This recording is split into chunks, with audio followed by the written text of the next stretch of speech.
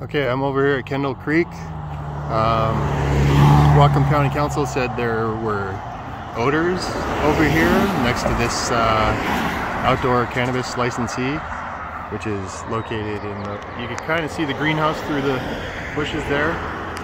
Um, I'm walking along this highway that doesn't have sidewalks, which is very dangerous. People whip through here too.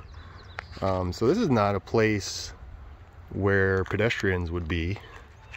And uh, they're surrounded on two sides by farm fields. Um, I'm gonna get a little closer and see if there's any odors near. Um, it's gonna be a challenge because there's trucks coming, so I'm gonna run.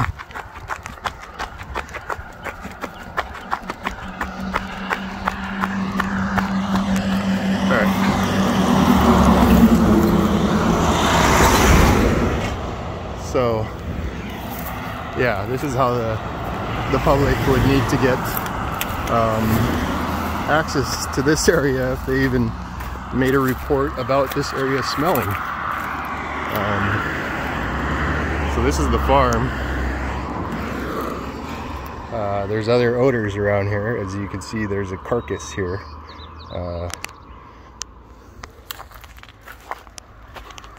yeah, so it's very precarious walking along this path here. There's another carcass.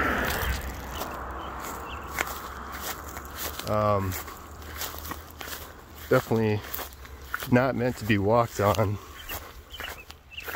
Uh, so I would say this is a rather inaccessible area to the public. Um, so if anybody's complaining, I, I would assume they would have to be uh, adjacent neighbors. Like I would think the only people that really have a viable complaint would be adjacent neighbors.